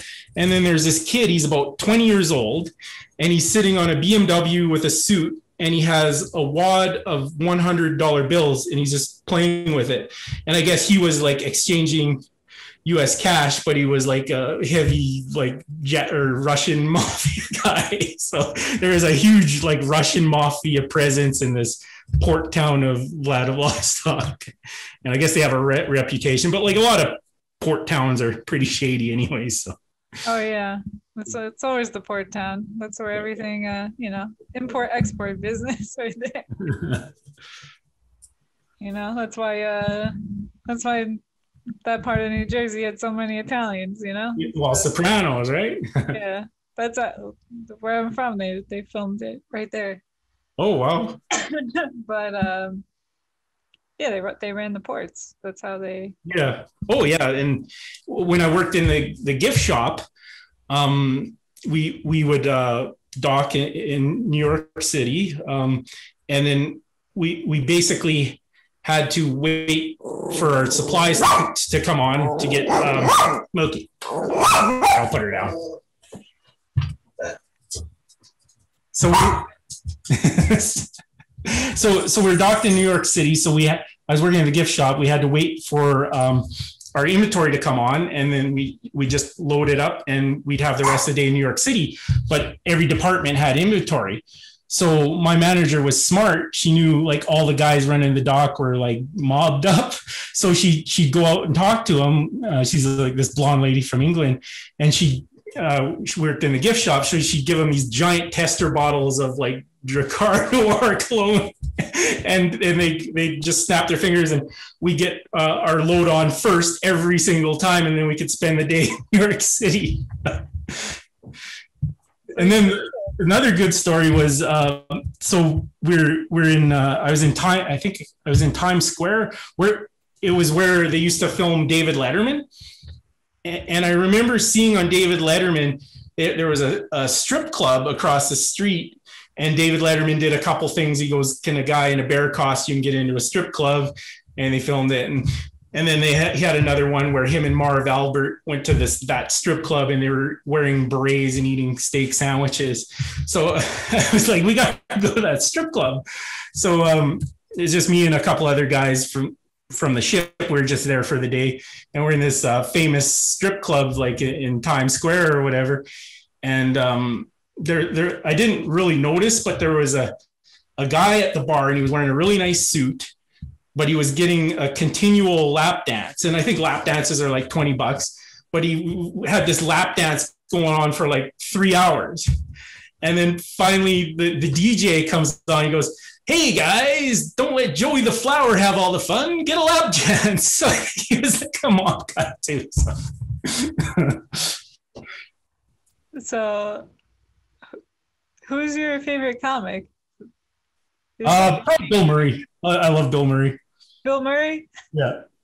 Did you see um, Zombie Zombieland? Ah. You ever see that movie? Like yeah, I haven't seen that movie, but yeah. Woody Harrelson in it, and uh, yeah, Woody, Harris, Harrison. Harrelson. Harrelson. Yeah, he's in it, but Bill Murray is uh you know, he's he plays himself in it. It's funny. Oh. I think well the, the most classic one in this is before your time is Caddyshack. Um, oh, of course, yeah, Caddyshack. Okay. But and, and I, I was just saying the other day, so um, there's certain movies like Caddyshack and Animal House, especially like men in my age group you can say any line from that movie and get a laugh. but for Canada, that movie is Slapshot with Paul Newman. Uh, so it's a, of course it's a hockey movie, but there there's like 40 or 50 lines, and I can just say pick a line from that movie and say it to someone in Canada my age, and they'll they'll laugh. That's that's true. Paul Paul Newman was great. Yeah. Uh, I uh, I worked with um, I was running a cookie and brownie company for people like getting off off their feet with um not Paul Paul Newman, but the guy who ran Newman's Own, basically. Yeah. Yeah. Um, they don- donated a lot of money. Like when anyone retires from Newman's Own, they give them um, like a half a million dollar grant Jeez. and, uh, to donate to charity, to a charity of their choice. So this guy picked my charity um, to start a cookie and brownie business. It didn't work out, but he tried his best. That's awesome. um, yeah, it was really good working with that guy, Tom Indo. So I haven't heard from him in, since then, but because I feel like you don't know about like charities are just, you know, they're corrupt. So, yeah. so you know, whenever there's a lot of money, there's corruption. So, Yeah. Yeah. but uh, you know, he was a good guy. Yeah, Yeah. I like Paul Newman. Paul Newman was a really good guy too. So, but yeah. Anyway, like you know, Slapshot. I think for like I am terrible with movies. Like Noel's always quoting movies, Mm. Even Caddyshack, and I just don't um I don't remember the lines, but any girl, any like lady who's my age, I feel like we didn't really have a movie like that Oh, until yeah. mean, mean Girls came out. oh, there you go. and every uh you know, if anyone ever goes like, "You don't even go here," she doesn't even go here. Like everyone knows what that means. That's my age. So it's uh, it's, it's always fun to have that kind of like cultural connection because you can do that anywhere in the world too. If there's a, Yeah. and they'll know what it means. It's great. Yeah. And then, well, when I worked on the cruise ship, we had a crew channel, uh, and they'd show movies, but they just show for that month they'd show the same eight movies over and over again, and you turn the TV on just to have background noise, but you you could do like the dialogue from one of the movies, and I think at the time uh, Meet the Fockers was on, and my cabin mate he was from Australia, Pete the Meat and we we'd walk by and we call each other Jinxie Cat, just say you gotta strike while the iron's hot. But we like we just recite this dialogue and and just like laugh our asses off because we're like sitting in the casino at a dead table and just bored. So we're like say, saying dialogue from these stupid movies. We had that with um that's one of the things I like about crew is like it's uh you always have like an immediate family, you know? oh yeah, Our trips would only be like a week long and then like by the second day, like, you know, you know everybody's life story. yeah, I think that's one of the reasons why I like doing these podcasts is because I miss the uh you know, just like the you'd be on the plane and the transatlantic flight, there's no like Wi-Fi, you know, like right. they sell you Wi-Fi and it'll work for like until you get to the ocean and then it doesn't work. yeah, good deal. so we would uh you know you'd have 10 hours that you have you have to stay awake you know when you're on duty so you would just learn you know you'd hear crazy stories just like this you just go back and forth and tell crazy stories and then you would have your layover and you would make some news stories Yeah. it was It's almost like you develop your own language. Like you could just say a word or or like and you know exactly where it's going. Yep. It was uh, you know, it's a good time. I I hope I get to get go do that again. But it'll be more fun because I'll bring you Yeah. with me. but I, like I I I quit like I quit I I I'm stammering. Um, I, I'm trying to say I equate uh, working on the cruise ships uh, to uh, like living in a college dorm because there's just that setting where everyone's just kind of sitting in the corridor drinking. We had our own crew bar, and but you, you had to live in these tiny little cabins with uh, bunk beds, like. And I, I lived actually lived with my fiance in one of those cabins for a couple years, so uh, very very tight quarters. Yeah.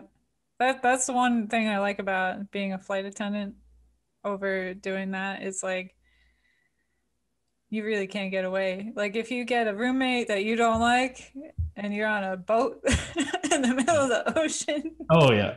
you're I probably lived with over a hundred different people from like every country. So there's like really good ones, really bad ones. yeah. So I was I, when I was in college I had a terrible roommate and I was Oh. like I'm not I'm not doing that in the middle of an ocean. Um, so the good thing about being a flight attendant now, at least, I know back in the day they used to share rooms, but now they don't. Oh, okay. Um, well, I mean, maybe it depends on the company, but uh, most of the time with the unions and stuff, like you get your own hotel room, you, you know, it's if if you don't get along with someone, you don't have to, you have to deal with them on the plane, and then you can go your separate. Yeah.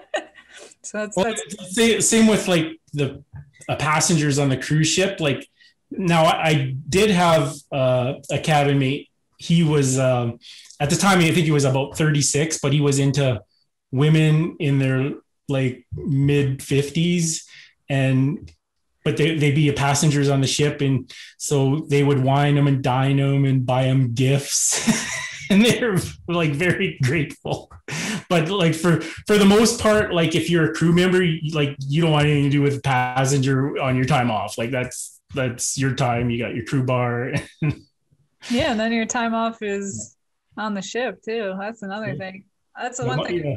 I knew if I got on the if I got on the plane and someone was giving yeah a hard time, I'm like, all right, ten hours, I'm not going to see this person again, yeah exactly yeah you know. But then two like you there for like two weeks or whatever. Oh my god, or not three months. I don't know. and then that, like that type type of industry i think so- sure you got like lots of stories about how, just how stupid people are like we had this uh, one couple on the cruise ship i think they they flew in from arkansas and their travel agent was selling the cruise like oh you'll have a cabin steward they'll get you ice they'll like they're basically your butler like the cabin steward will do everything for you just you just leave your um, bags outside the door and they'll take it right to the plane for you. You just have to drop them outside your door and the cabin steward will take everything. So the travel agent told these people this and, and they thought they meant leave it outside their door in Arkansas. So they they left their bags outside their, their house, flew to Miami, got on this cruise ship, and then the, the cabin steward comes, hey, I'm your cabin steward. They're like, where's the bags?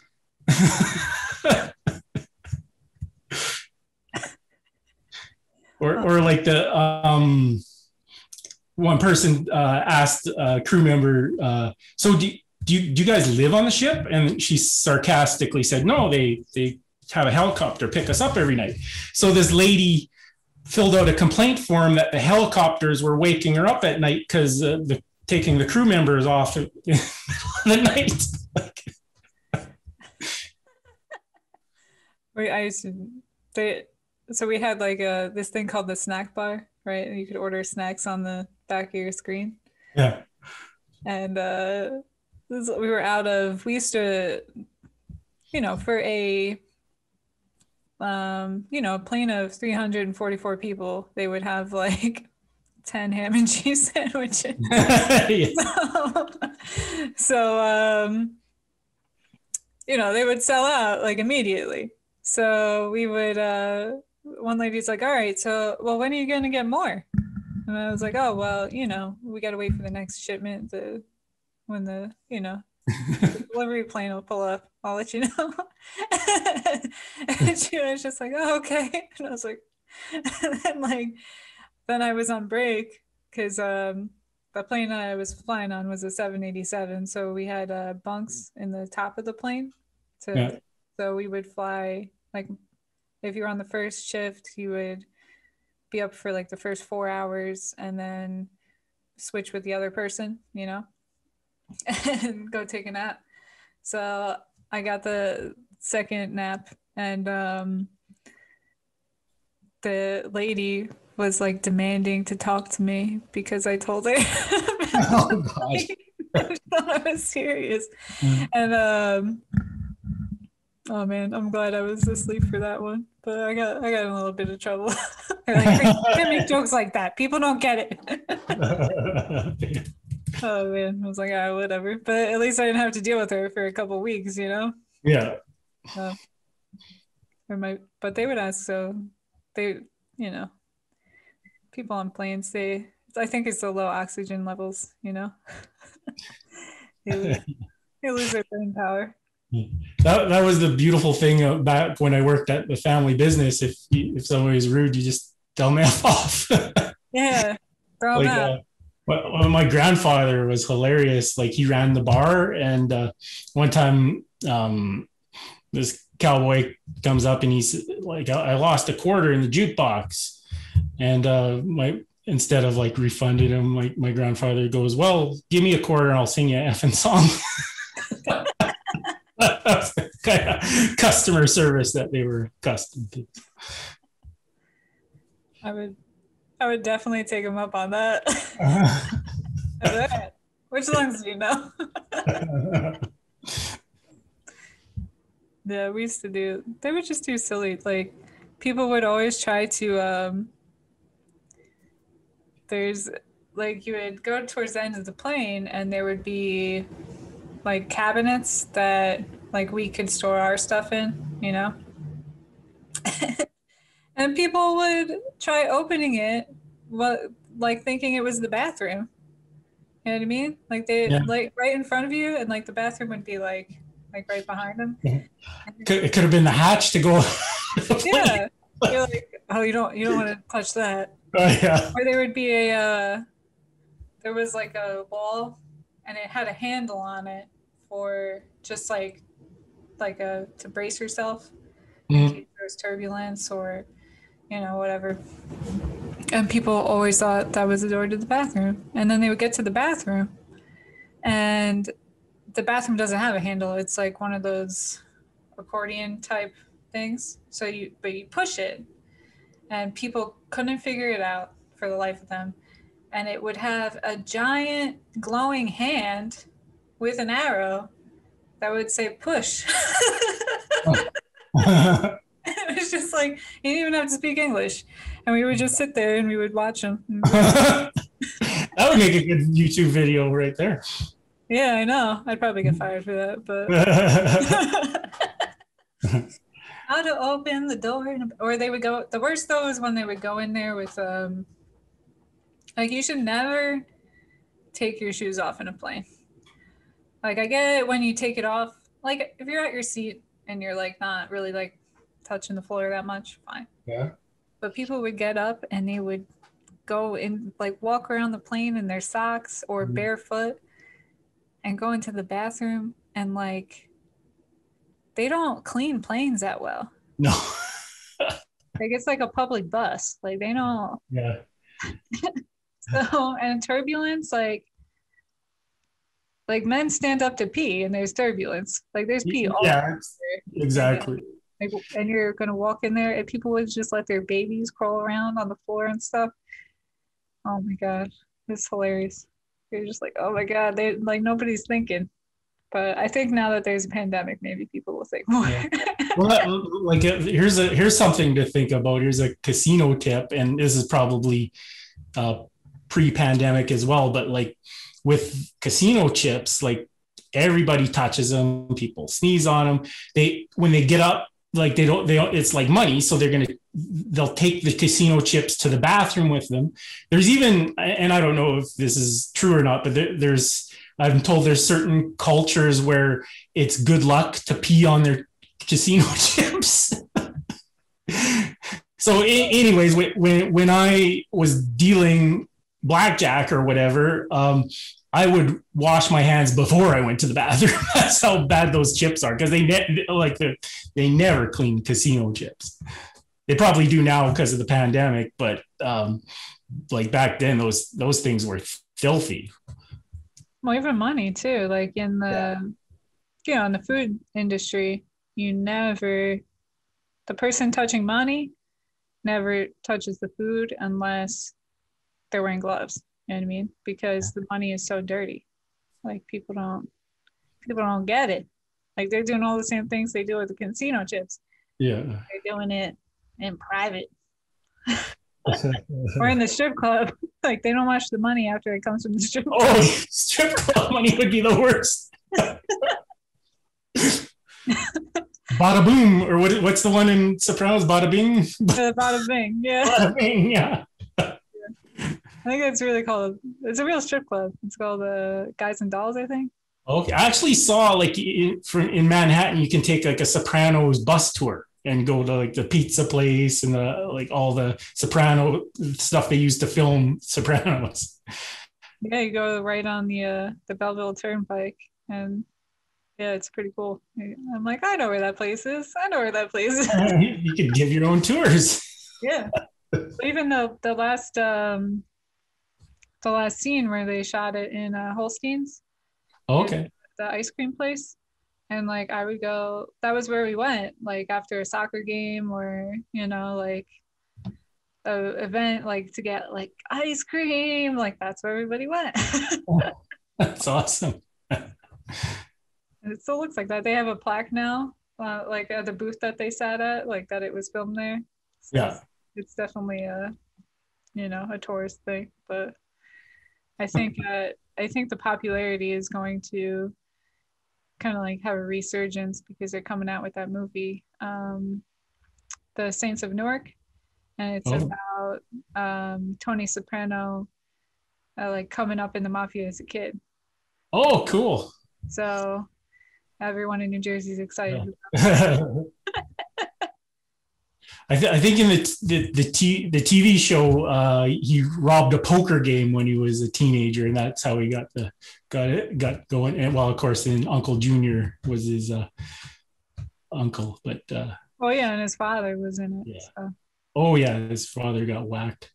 His his mother was a piece of work. yep, I know. I know a lot of those. Oh my god. So, it, but she reminded me of like the uh, also like it, the stereotypical uh, Jewish grandmother too. Right. It's very similar. It's like the guilting you and it, it's it was just like oh this is hilarious like it's just it was so uh I felt like wow this is, has got to be like super relatable to like so many people. she never come visit me anymore like it was so funny It was a great show. Yeah. I just saw the um I was watching another movie. That guy is in a lot of uh, stuff now that played uh, Christopher. Oh yeah, Michael Imperioli or something like that. Yeah. I was like, wow, you're he's old now. oh yeah. Because I just watched this, the first season of The Sopranos recently because I was like excited that the movie was coming out and um, what was he in? Um, a night in Miami. oh, that, yeah, to check that one out. It it wasn't. I thought it like from the description of it. I thought it was gonna be like more exciting than it was. Mm. Like it was, it was more like people talking, you know, where I thought it was gonna be like more yeah. action so it was just like, eh. That like the acting was good, but it it's nominated for all these awards and stuff, and you could tell that it's supposed to be. It's like a based off of a stage play, you know, like a serious play, like for true thespians, you know. yeah, it's well, you have to think. Yeah, and I was like, I don't. why am I watching this right now? It was really uh, are you watching any new TV programs or? Um, I've just been watching things on. I don't. I haven't had cable in like years, so I Uh, just watch things on like Netflix and YouTube. Um, because because it's too expensive. yeah. But uh, you know, I was watching um something. I was watching that documentary about the mu- murderers yesterday. it was interesting. It, was like this. You know, I'm not like a big conspiracy theorist person, but it made sense. this makes sense. Like I kind of, if you watch it, I feel like I feel like one of the issues with that particular documentary is those QAnon people are really gonna like latch onto that. Right. Yeah. I feel like that you could definitely probably link that to Jeffrey Epstein somehow. God. Eh, like, have you seen it or no? No. No. If you you could see it and you'd be like, hmm, like Yeah. you know, maybe it, it kind of If makes they do, if they do present anything sort of like in bullet point form or just something that you can take in little pieces, it, it, they can make anything believable. Like, Yeah, but it was actually it was it was more than that. Like this guy like had spent his like whole life um with this theory that the the Son of Sam shootings were not just done by one person. They arrested like one person. They were like these shootings in New York in the 80s. Do you do you know about them? oh yeah. yeah, So I remember like my parents talking about them when I like was like a kid, like they would make jokes, you know, um, about like gothic people or whatever, you know, like Satan worshippers. like, you know, like what are you uh what are you a son of Sam or whatever, like joking about it. But um yeah, I didn't know what it was. And this guy, I remember seeing him on TV uh Terry Maury Maury Terry or Terry Maury, something like that. Got two first names over there. Hmm. But uh he like dedicated his whole life to proving that it wasn't just that one person doing all the killings. And it, it actually I was like, oh, this actually makes sense. But yeah. Well, there, there are copycat everything. So well that it was more linked to uh like a a cult. okay. Oh, so they were connected, but not the same person. Exactly. Like it was the same organization of people. And I was like, oh, that actually makes sense. But Yeah. Have the internet back in the day. So or the uh DNA changed the game, you know? Oh yeah. So now it's much harder. Much harder to get away with that kind of stuff, I guess. Yeah. I mean, we don't know because if they got away with it, we wouldn't know. but that was interesting. But and I of course I watched um uh, well in like clips I watch uh, SNL all the time. Oh yeah. They just had Elon Musk. Do you see that one? yeah, I was watching it. Oh my god, I watched the they had Wario and dressed as Wario from the Super Yeah. Mario yeah, that was.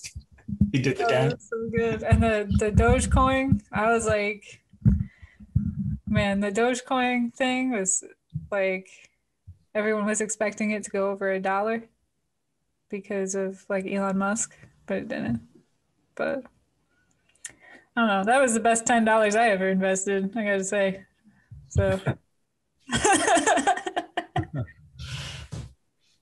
I've been watching a lot of Magnum PI, the new one. That's pretty cool. And and then I don't know if you've even heard of it, but there there's a show called Big Sky, um, and it's based in Montana. And because and I spent so much time in Montana, um, I I, I really like that show. But it, there's just like a ton of twists and turns. Is that is that a like a cop show? Um, it, well, it, it involves Montana State Troopers. That was season one. They're in on like a human trafficking ring, but they killed off the the Montana State State Trooper. Uh, so it, it's on to season two now. I just started watching um this thing called I think it's an older series, but it's on Netflix called uh, Startup, and it's Oh. actually about Miami, Yeah. but it reminds me of your shirt. I'm thinking you're a big fan of Miami Vice. oh yeah, I love Miami Vice. yeah. I, I just uh, I just got a pop up on my screen. My battery's going low. I'm gonna uh, just plug it in. So give me two seconds. Okay.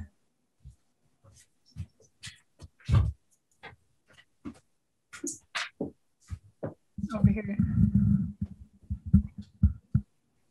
What is the sandy bottom? Oh, it, uh, I got that at a dollar store. It's not a real bar.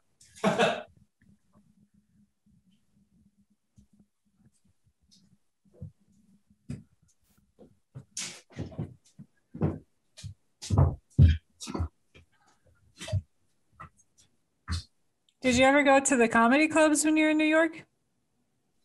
Um, actually, no. I did. I did see Jerry Seinfeld in Vegas once. What's, the best show you've seen in Vegas? Um, you're, you're not. You're not gonna believe me, but it's actually Jersey Boys. I've seen it three times. Really? Yeah. I saw. I didn't get to see that on Broadway. I think my mom went though. She said it was really good. That was every, everybody's favorite show, and like, but I'm like, it's biased, you know. Yeah, and I actually have seen like Paul Anka and um, what's the other guy? Um, oh, he was a Danke Schoen guy. Donk, uh, Wayne Newton. Mean, Those, yeah, and uh, yeah, those guys like were like old school Vegas guys. So apparently, um, Paul Anka wrote "My Way." I think it was "My Way" for Frank Sinatra. Frank Sinatra was going to retire, and Paul Anka wrote "My Way," and basically brought Saint Frank Sinatra out of retirement. oh wow, that's cool. I know. Yeah. And Paul Anka's Canadian. Ah, there you go. Some Canadian pride over there. And Frank Sinatra's from Hoboken, New Jersey. yeah, yeah. There you go. One thinks he's from New York. I'm like, no. But I always say like you can't see a. It's pretty tough to see a bad show in Vegas. Um, and I've seen all kinds of shows. Like I saw a Motley Crue play at the the Hard Rock. And it was hilarious because they have this big pyrotechnics show, and Tommy Lee's playing his drums, and then uh, around the drums caught on fire, but it wasn't part of the show. And, but he kept on playing, and the, the roadies came out and hosed down his drum kit. And then for the rest of the show, it just smelled like burnt rubber. Did it change the sound of the drums? Um, it was just sort of on the platform in front. So like he had these flames like shooting out by his drums and then the front of his so it was like a rising stage. So he's like up in the air and this platform caught on fire. So Whoa, yeah. that's pretty cool. Yep, that's very rock and roll to keep playing, you know? And then uh, I saw at the Palms, I saw the Pogues. So um, the lead singer is just like this renowned alcoholic. And I, was in the front front stage, and I thought he was doing like a Dean Martin thing because he had this plastic cup, and it was full of whiskey, and he was like singing, but he was like swaying. But then he like fell forward, and the whiskey fell like a little bit of whiskey spilt. It was real whiskey, like it, he wasn't drinking iced tea. It wasn't an act. He was like bombed. That's funny. the Pogues. The Pogues. Uh, I think the lead singer's name is MacGowan. Maybe. Uh, yeah, I'll, you have to look at. I think Shane MacGowan, but he's just like this renowned alcoholic, um, but like fantastic singer. Uh, they they have this uh, famous Christmas song. Uh, uh, I think something fairy tale in New York, uh, and they they pl- they play it every- every Christmas. But like they're an sort of Irish Celtic band. Uh, but yeah, look into them, the Pogues. MacGowan, that makes sense. Yeah. and all his teeth are falling out. And, was, and then one time he, uh, they were he was right in the middle of the song. I think he was done his drink, and he just walked off stage in the middle of the song. And then the band just kind of looked, and they just kept on playing for like another five minutes, instrumental. and he staggered back on. So just that in itself was entertaining. That's good. So yeah, you, I think you'll have fun in Vegas. Uh, you might you might not quite get the shows or or all the uh, what it, what it was before, but uh, yeah, and definitely like lots of good meals there. Like uh, like well, a lot of celebrity chefs. Like I've eaten at Bobby Flay's. Um, I, I, ate at Mario Batali, a couple of his places before he uh, lost it all. Um, well, Bobby Flay's not. Both of those guys are not a. Uh, there's a story in um, Guess Philly because he he opened a bunch of like burger palaces and stuff. Yeah, there, there's one in Vegas, Bobby's Burger Palace or whatever. He's not he's not the best guy to work for. oh, okay. uh, yeah. And neither is well, Mario Batali, so there you go. Skimming tips, is that right? Or that was Mario Batali for sure. Yeah. Um, but even coming up, like Bobby Flay is was known for like um like copying recipes, and they say he like learned everything from his ex-wife, basically. Oh. wow. Um, yeah, he, he doesn't have a. There's definitely like, you know, circles that don't like him. yeah. Uh, the, be- the best burger I had in Vegas was Gordon Ramsay's, I think. I love Gordon Ramsay. People talk yeah. shit about Gordon Ramsay, but he's um I got the I got to go to his flagship restaurant in England, Ramsay's. Oh, wow. And um I went with my school and we got to go like behind the scenes. He wasn't there, but we um yeah. Like we learned we we basically got a tour from his maitre d, who was um, a kid. He like Gordon Ramsay like found him when he was working as a dishwasher in a hotel at like 15 or something. Yeah. Um, just trained like trained him and he was the maitre d but I think he was like 22 at the time for a three Michelin star restaurant. Like you know, yeah. So he was definitely like like everything they did in there was it was very uh like even the decorations, they had all these mirrors on the wall and like if you were just a customer, you would think they were just for decoration.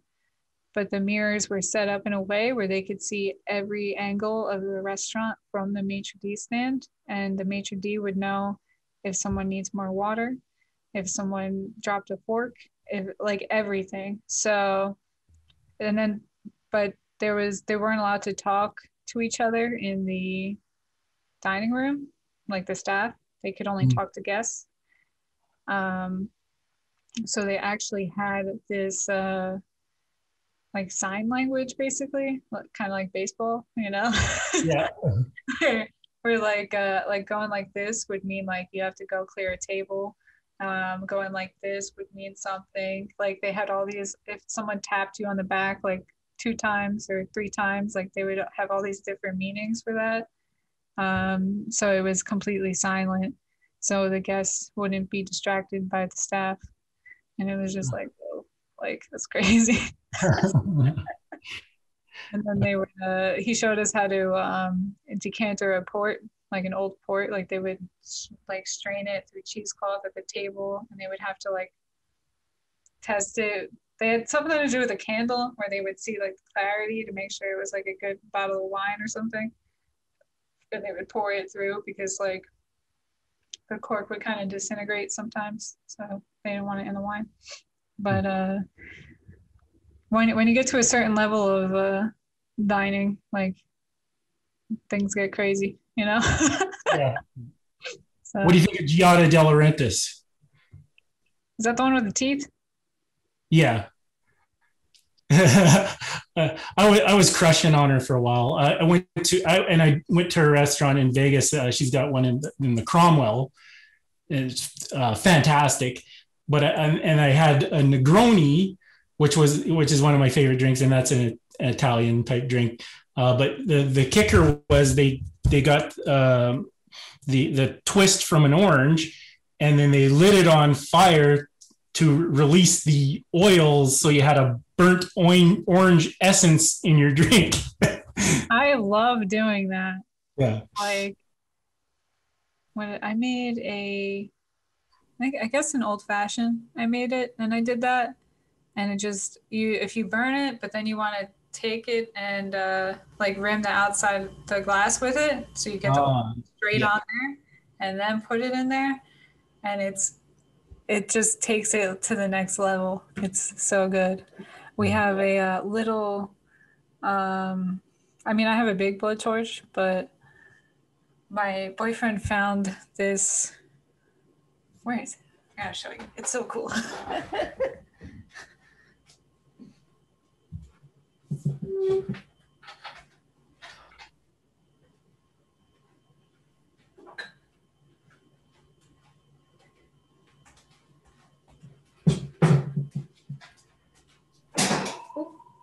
It's almost like a pen, like mm-hmm.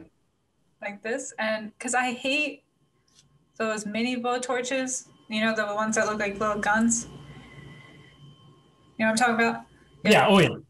Um, so this one you just push it up and you can't okay. see the flame. There we go. Yeah. Um, you can brulee with it, right? You could, yeah. I use the big one for the brulee. Oh right, okay. But this one I use I use it for for the uh, oranges for anything where I need like like a lot of control is what I use the smaller one for because it's not as heavy. But the um, it's perfect for that. And I love that because it has safeties on it. Like it has a lock on it. So like, you know, a little kid or something isn't gonna do anything. And um, it's got like the adjustment for the flame but I hate the the guns because the uh, the space like where they put the safeties, and mm. sometimes they when you turn them on, it's not a release trigger. It's like you turn it on and it's on. yeah. and then you have to like move the safety and do this to turn it off, and it's like it's so dangerous. Like I know more people have gotten burnt with those things than with the the one I have, like the giant one I have at Home Depot, you know? So. Mm. Actually, when, when I was um, 15 years old, I blew up my parents' kitchen. I did like $2,000 worth of damage. so I, I was home, I had mono. So I like I was in and out of sleeping and I, I decided I was going to make a deep fry some potato patties. Um, so I, I had the hot oil and I put the potato patties in, and I think I must have fell asleep or something. All of a sudden, it was like, and and so I'm like, okay, I'll, I'll remain calm. Like I, I, I think I saw somewhere where if you put um, baking, is it baking soda or baking powder on it, it'll like, um, it, will kill the oxygen and the flame will go out. So I had this big uh, pot of burning oil, high flame. So I, I, go to put the baking uh, soda on it, but it's uh, corn. It was cornstarch, and it somehow made it combustible.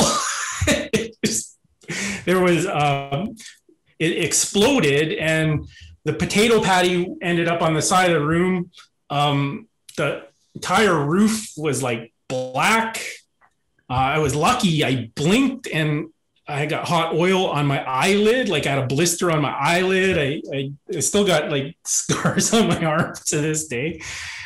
Like, Whoa. and um, yeah, flour, like cornstarch and like flour, they're highly combustible. that would have made a good YouTube video. oh my god, yeah. You always you gotta cover the grease fire. I know, yeah. Well, I was 15. I didn't. Yeah. 15. But at least you didn't put water on it. Yeah. At least you knew that. But like, oh my God. I remember a lot of the times when I was traveling, because uh, I bake all the time. And my, um, for a long time, I would have to carry my, like, I would travel places to cook. And I would have flour in everything. So I would get stopped constantly because when they did the the powder tests on me, I would always come up positive because of the flour. And then I'd have to talk to them, and they told me like, "Oh, that's that's it's from the flour," and I was like, "That's weird," but with that story, now it makes sense. that's crazy. Wow. Yeah. I guess that it's amazing that I like to cook now because, like, for, and for years I was just scared of hot oil. But uh, I mean, I'm still afraid of hot oil. You gotta be careful with that. oh yeah, yeah, I remember even with like you don't realize I have a deep fryer and I didn't realize it was plugged in and we are like, what is that that smell? Because in a small apartment, like the ventilation isn't that good.